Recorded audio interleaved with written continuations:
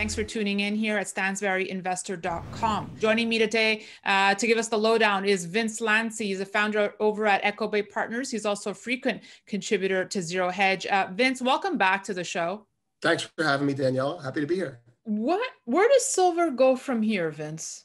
To, to be simple about it, and then to give you a reason, because I've been discussing this recently with some people, it goes up.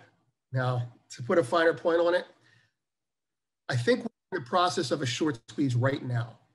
It may not be bearing out in the price, but if you look at how the market is behaving, the silver market is holding strong while gold is selling off. Right. Because there are serious shorts in the silver market.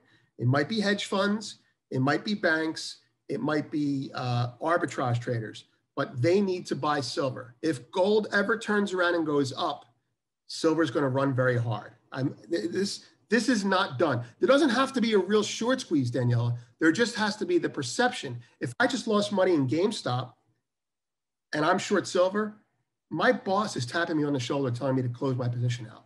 And people are nervous. Okay. So if I tell you, well, gold's um, lagging right now because of the stronger US dollar against the backdrop of rising yields, stronger US uh, uh, economic data, is that is that truth for you or is there something greater at play? Um,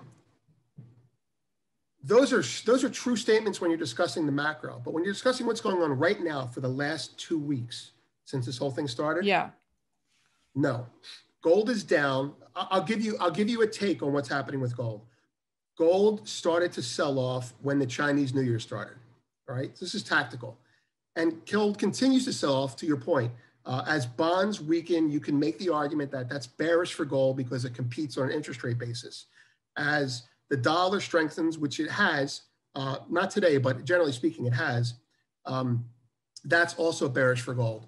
But that's not bullish for silver.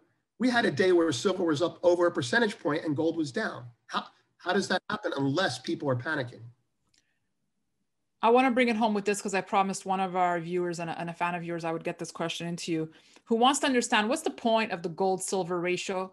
If gold, uh, yeah, sure, they're both precious metals, but silver has an industrial uh, component to it. Um, you know, the, you know, and, there, and there's two, two, two schools of thought here. Some people say who, who, who religiously follow the gold silver ratio, and others that say it's completely pointless. Uh, where do you, where do you stand on it? Uh, as a trader, it's very, it's very, it, it's, it's important. As a historian, it's important. But as a true measure of what silver or gold should be worth, I think it's meaningless. I, can answer that question very clearly. The gold silver ratio is rooted in back in the days when they wanted to have bimetallism. They wanted to have silver be worth, I think, 16 gold. Back, we're talking like the 1800s. And so the gold silver ratio was kind of, they tried to stick it at 16. And so you'll hear that referred to once in a while. And to this day, the gold silver ratio, as it gets closer to 16, we're nowhere near that, like in the 60s now. Uh, people will say then, you know, the true value of silver based on its rareness, based on its monetary qualities is 16 to 1. Now, I don't know if that's true or not. But the reason it's not important is because silver isn't just money anymore. It is industrial to your point. You can't use silver as money. You just can't because it's it's more important than gold. The other reason that it's important to watch the gold silver ratio is because if I'm and I think this is important, people are not familiar with this. If I'm long one gold contract and I sell one silver contract, part of my margin requirements offset.